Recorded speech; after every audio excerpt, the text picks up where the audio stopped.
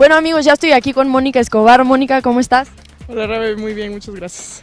Bueno, y escucho por ahí que te gusta que te digan de otra forma, ¿cómo es? Momo, todos me dicen Momo aquí. La mayoría aquí en la universidad me dicen Momo. ¿Por qué te dicen Momo? No sé. De que un hermano chiquito que no podía Mi compañera me empezó a decir y luego llegué aquí, no sé cómo se enteraron y ya todos me dicen Momo.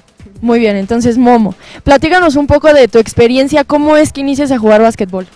Pues empecé a jugar desde los 7 años, empecé pues en mi colegio jugando en el recreo, un, profesor me vio, me invitó al, este, al equipo de básquet y ahí empecé. Y ya poco a poco fui integrando selecciones, el de mi, de mi, de mi colegio y pues ahora que estoy aquí en la universidad y ahí.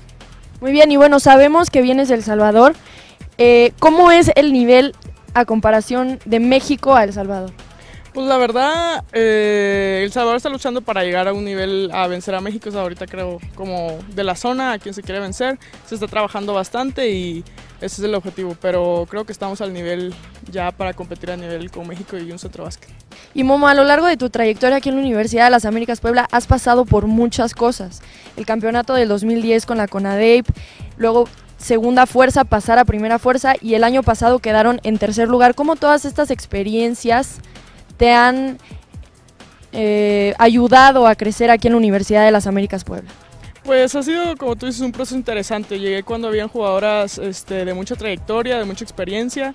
Este, pues llegar, yo estaba, tenía 17 años, entonces llegar a aprender, llegar a ver a jugadoras que obviamente me superaban, fue, este, te enseña pues humildad porque llegas a la banca, te tienes que ganar cada minuto, entonces aparte de eso, aprender de ellas, observarlas y como tú dices, ese año me tocó, estuvimos en segundo lugar y eh, terminar jugando una final, o sea, que quizás no me lo esperaba. Fuiste seleccionada, Momo, el año pasado para tu país en la clasificación Centro Básquet. Platícanos un poco de tu experiencia. Sabemos que El Salvador quedó en segundo lugar y tú fuiste nombrada jugadora más valiosa.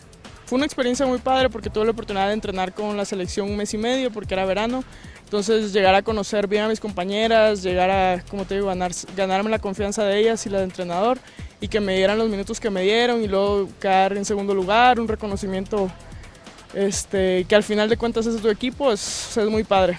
Eh, siempre que he visto una camiseta, sea de la UDLA, sea de El Salvador, la he visto como si fuera lo único que tengo en el momento, entonces este, es muy padre y más cuando pues, estoy aquí todo el tiempo y regresar y que mi familia está ahí viendo los juegos, es, son experiencias que me dejan mucho, que aprendo, que disfruto y, y este, pues nada más aprender quizás el nivel, el choque quizás un poco más alto que el universitario para venir a ponerlo en práctica aquí a la universidad.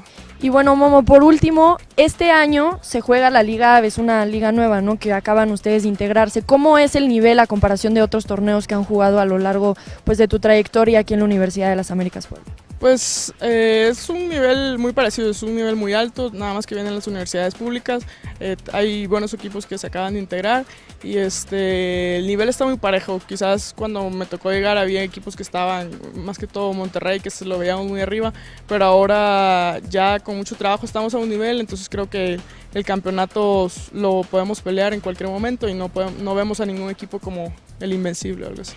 Y bueno, hablando de campeonato, ¿qué es lo que tienen que hacer este año para llegar hasta esa zona prometida, que es el campeonato del Final Four? En este caso, ¿también se da el Final Four? Creo que ser, van a ser seis que clasifican. Y este, pues nada, seguir trabajando, tenemos muchos detallitos que tenemos que ajustar.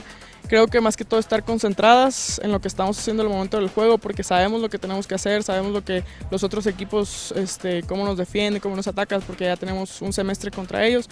Entonces estar concentradas, eh, y unidas más que todo, estar unidas y conscientes en, el mismo, en la misma página que queremos el campeonato. Bueno Momo, muchas gracias por tu tiempo, por estar aquí con nosotros y bueno, que sepan que Tebutlap está siempre detrás de ustedes apoyándolos, al igual que toda la Universidad de las Américas Puebla. Les deseamos la mejor en esta temporada y bueno, ahí estaremos todos, incluyendo Tebutlap, tanto como los espectadores, apoyándolos y viéndolos.